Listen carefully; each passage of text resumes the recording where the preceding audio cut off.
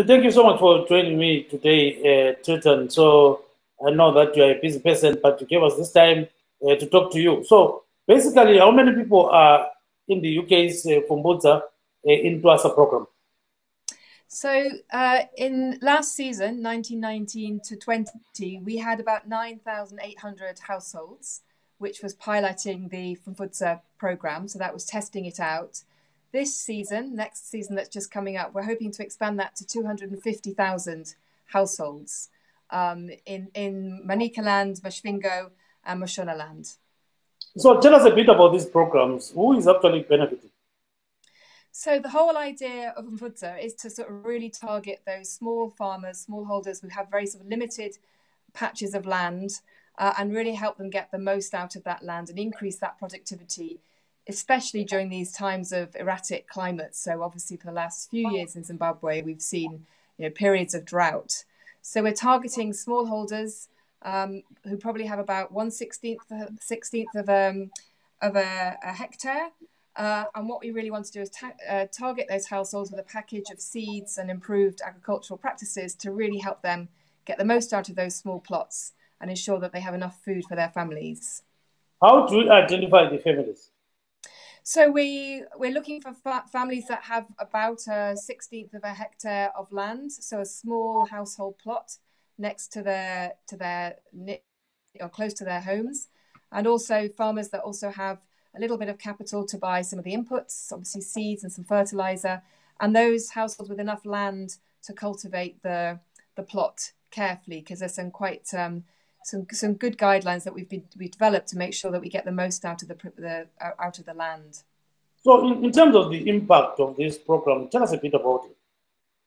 So, we're quite excited by the by the program because for a limited amount of inputs and some very careful cultivation, um, we sort of see that a household can probably uh, secure about 33 weeks of cereal, so almost enough for a household to get through through the year, about two thirds of the year and that's a family of six. So, you know, obviously in these difficult times, hopefully improving food security for those people that previously had to buy food in the market, had to buy cereals in the market.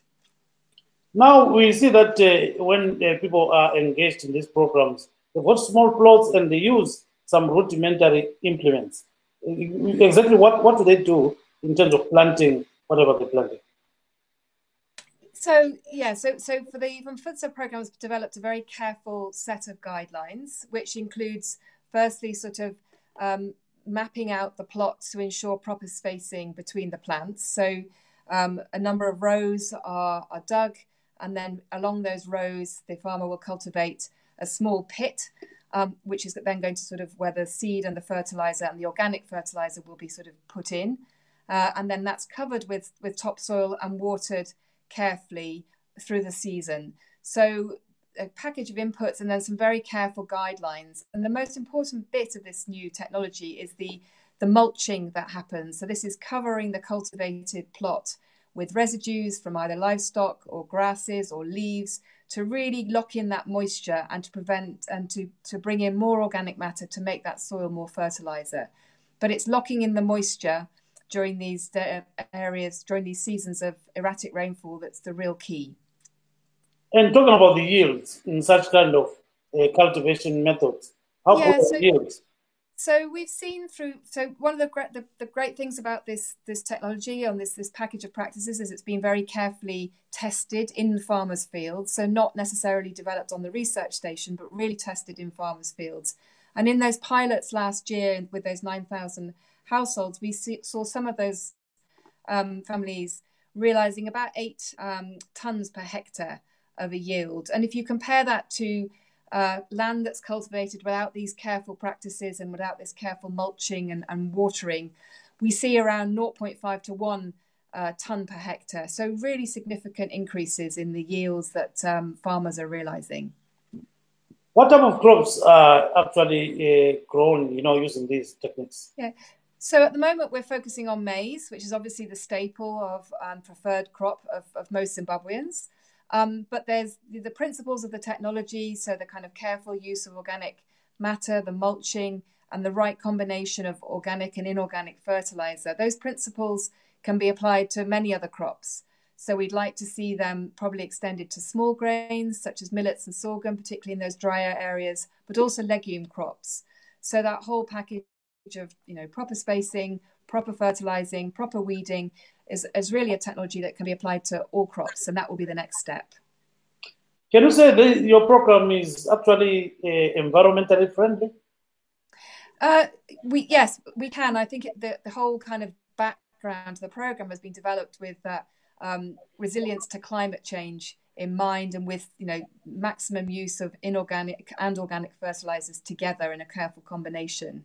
So using um, mulches, um, leaving crop residues in the field to sort of um, fertilize the soil, reducing chemical fertilizer to the to the minimum level that's effective. So you know, reducing that down as much as possible, combining it with organic fertilizer, so we get a real synergy between the two. All of these kind of principles are, are about kind of improving the environment, but also building resilience to to climate change. Now, when we look at uh, this kind of uh, method that we're using, is it for only poor farmers or any other Zimbabwean farmer can actually use this method? So, so the particular package of Pfumvudza has been developed for a particular farmer with, a, as I said, with the kind of one uh, sixteenth of a hectare of land. So it's targeted at the smallholder, and actually the, the very clear guidance that's been developed in terms of how you lay out the plot, the spacing, how you apply the the mulching and the inorganic and organic fertilizers. That's all been developed with smallholders in mind. But the principles behind that, um, behind the agriculture, uh, as I said, there's kind of combinations of inorganic and organic fertilizer, the careful mulching, um, the kind of minimum tillage principles are all kind of more widely applicable. And we very much would like to see them being taken up by larger farmers and commercial farmers too. Now, looking at uh, what is happening in terms of rainfall, you know, uh, uh where are the areas where you are targeting and how is the rainfall pattern? in those specific areas? So, um, so at the moment, the the program, the livelihoods um, uh, food security program (LFSP) is targeting Manicaland, Mashona, and uh, Midlands with this particular um, practice and the, the Pfumvudza package. Um, and in those areas, we're seeing, I think, uh, seasons where rainfall is is more erratic. Um, you get prolonged dry spells and, and you obviously in the last two or three years have had lower than average rainfalls. We're also with a, a second program, the uh, Zimbabwe Resilience Building Fund, which works with our European Union and Swedish partners targeting drier areas across other parts of Zimbabwe, where we're also taking some of the principles behind this um, package of uh, practices and encouraging farmers to, to test those uh, principles out too. So targeting different ecosystems and trying to adapt um, the package to those different ecosystems to, to basically deal with the increased erraticness of rainfall that's the main problem for farmers. Yeah, and I'm told that we've got uh, a similar program in Matabeleland called Intwasa. Uh, that, somehow. Yeah, that's right. So that's the, the Zimbabwe Resilience Building Fund, which is, you know, obviously those areas are much drier, very risky for farmers. And in those areas too, we really want to work beyond maize and try and sort of look at some of the opportunities for small grains, millet and sorghum, which are much more drought tolerant uh, and able to kind of cope, cope, cope with this erratic rainfall. And there's some people who argue that, uh, you know, these plots are very small, you know, and they need some tractors instead of somebody, you know, planting in these holes, you know. What, what, what do you say to that?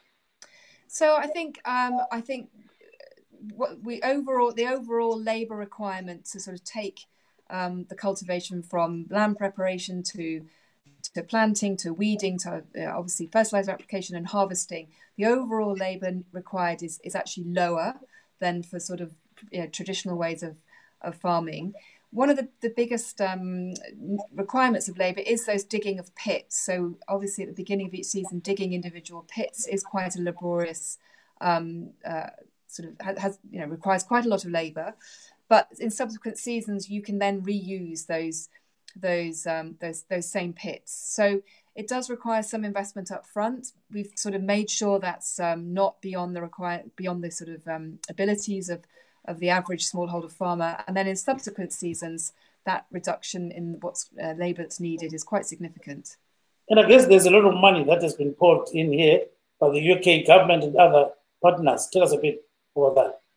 So we've yeah we've been funding the the livelihoods uh, food security program in these in these provinces for the last four years, working with the Food and Agricultural Organisation uh, and also working with the Government Extension Service and Agritex.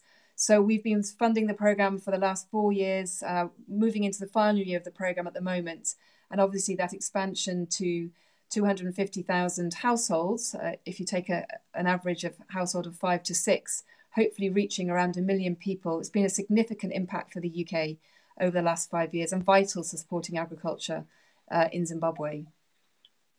What is your last word? My last word. My last word is uh, that this is, for me, this is really exciting actually. It's a really um, carefully developed package of practices that's been developed with farmers using their knowledge too and really combines efficiently those use of input, those external inputs and traditional uh, materials that are traditionally available. And I think in the economic climate that we see with all the difficulties, the more we can do to we can do to be efficient, smarter use of inputs, reduce the cost to farmers, and be resilient to climate change, then we really have a way forward.